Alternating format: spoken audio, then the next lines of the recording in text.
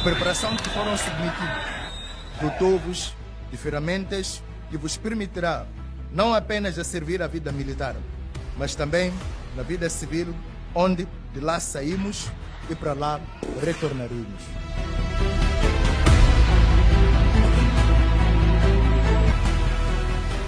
Servir a nação é a maior demonstração de nobreza.